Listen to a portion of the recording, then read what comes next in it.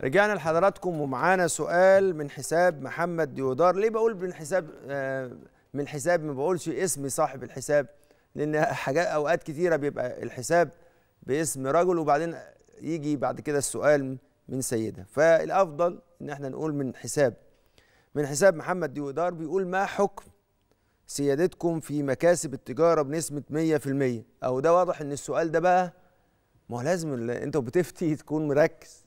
مركز في إيه؟ هو السؤال ده مين اللي سأله؟ عشان كده هتشوف بقى تف... تقدر تفهم بقية السؤال. بيقول إيه؟ ما حكم سيادتكم في مكاسب التجارة بنسبة 100% واحتكار السلع وتزويد سعرها؟ ده واحد بيسأل عشان يقول لواحد تاني إن هو بيعمل حاجة حرام. لا تعالى نسأل نبص اولا. اولا الشرع ما جاش عشان يحدد نسب ليه للربح. ما دام الربح ده ربح وصل ليه الإنسان بشوية أمور. بعدم الغرر. الغرر يعني إيه؟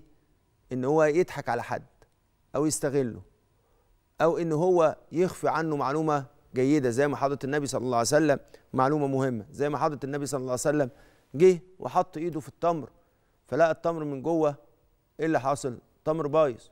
فحضرة النبي صلى الله عليه وسلم قال له إيه؟ لماذا لم تظهر هذا؟ فحضرة النبي صلى الله عليه وسلم قال له من غشنا فليس منا. يبقى إذا كان ال- المكسب ده جه من غير غش ومن غير خداع ومن غير أي تلاعب فالمكسب ده حلال.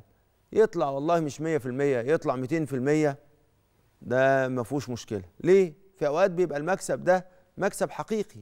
مكسب الشخص ده ما عملش أي حاجة غير إن هو اخترع اختراع فباعه فالمكسب بتاعه جاي له خمس ست أضعاف الفلوس اللي هو عمل بيها هذا الاختراع؟ آه يجوز. فالمكسب ملوش حد معين. لو بعده يبقى حرام. لا مفيش الكلام ده خالص. وأي حد يقول لك غير كده يبقى راجل مش فاهم أحكام شرعية. طيب بس حد بيقول بقى طب وأنت إيه رأيك بقى في الشخص اللي إيه؟ اللي بيقوم بالاحتكار في السلع ويزود سعرها؟ لو كانت السلع دي من السلع الضرورية وهو احتكرها يبقى المحتكر ملعون. بس هو يعني إيه احتكرها؟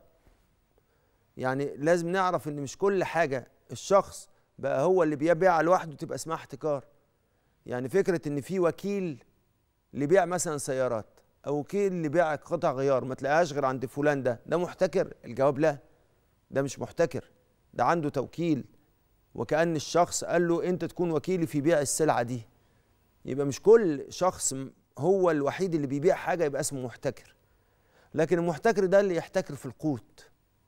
لكن واحد محتكر بيع سيارات غالية الثمن. ده ما اسموش احتكار لأن أنا ممكن أستغني عن المسألة دي. مش ده المحتكر اللي لعنه حضرة النبي لكن المحتكر هو اللي بيحتكر في القوت.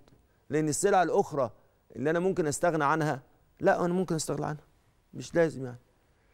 فيبقى عشان كده لازم نوضح وإحنا بنتكلم عن المحتكر ده يبقى المحتكر الملعون ده اللي بيحتكر السلع الضرورية في حياة الناس. مش لازم السلع الضرورية تكون في بس قوت. يعني مثلا الناس دلوقتي عندهم مشكلة إن هم محتاجين مواتير مية فورا ومش عارفين يعيشوا والمية والمية عندهم مشكلة فيها. أو محتاجين أجهزة كهرباء أو محتاجين كذا أو محتاجين كذا والراجل ده بياخد ده ويتلاعب بحاجة الناس. يبقى المعيار هو آه في الفقه كان بيقولوا إن الاحتكار بيكون في القوت بس كمان إحنا خدنا من المسألة دي إن الاحتكار في سلعة ضرورية الناس يحتاجون إليها فحد يتلاعب بحاجة الناس. هو ليه المحتكر ملعون؟ لأنه بيضيق نعمة ربنا على الناس. لأن المحتكر ده ربنا سبحانه وتعالى رزق الناس رزق واسع وهو بيضيق عليهم. وعشان كده المحتكر ملعون. ولما ساعتها الشخص ده يكون في بي- بيعمل الاحتكار ده على الصورة اللي إحنا قلناها وبيزود في الأسعار لا الشخص ده بيرتكب حرام وبيرتكب أشياء تعود عليه بمحق بمحق البركة. إن ربنا ينزع البركة من أمواله. ولذلك يتقي الله سبحانه وتعالى الشخص اللي ممكن يكون بيعمل الكلام ده.